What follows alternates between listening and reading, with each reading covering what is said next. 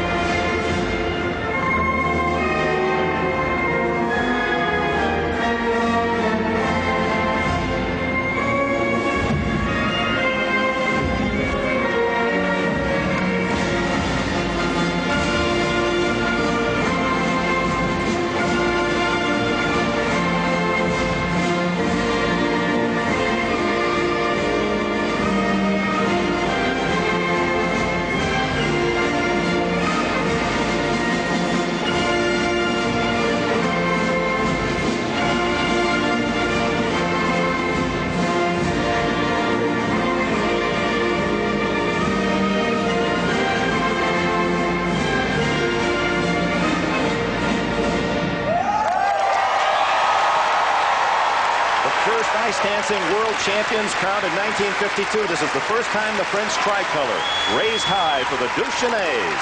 Isabelle and Paul Duchesnay, gold medal winners 1991.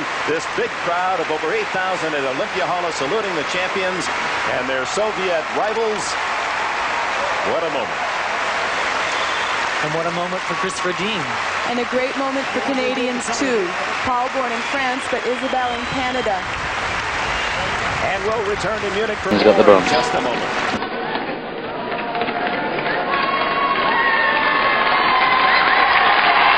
Deep breath. Seven years they've been together. They've been waiting for this moment. And little did they know that they'll be on top of the podium in their home country. Or Gwendal's home country, but a country that she feels, I'm sure, right now is home. Here we go then. The first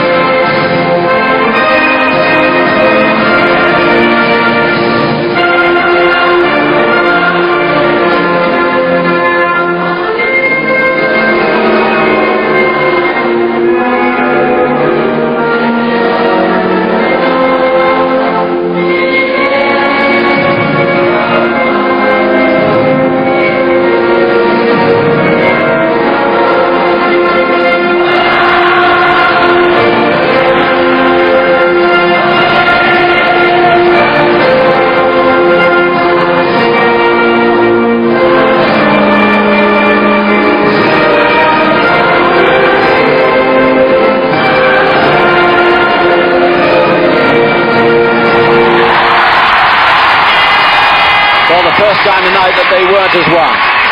Marina deep in court. Gwendal booming out, as so many were here, with the words. She better get to learn them because it may get to be a habit.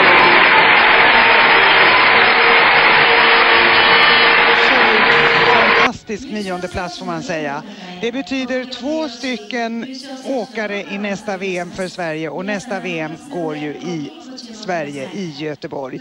Men Ryssland Lotta måste vi kommentera också. 19 och 20 plats bara. Ja, och det betyder att de bara får ha en åkare med till nästa år.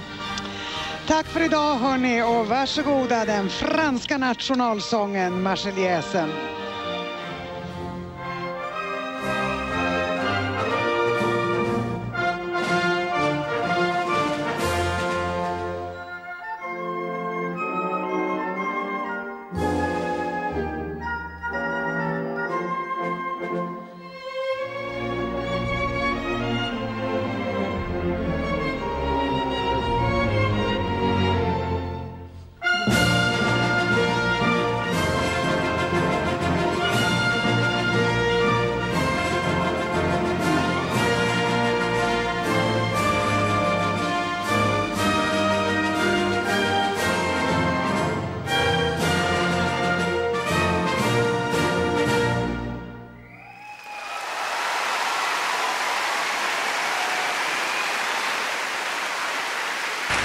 Uh, you play into that. They've done it so well here in Gothenburg throughout the competition. So here we go, the national anthem of France. There's going to be some tears here.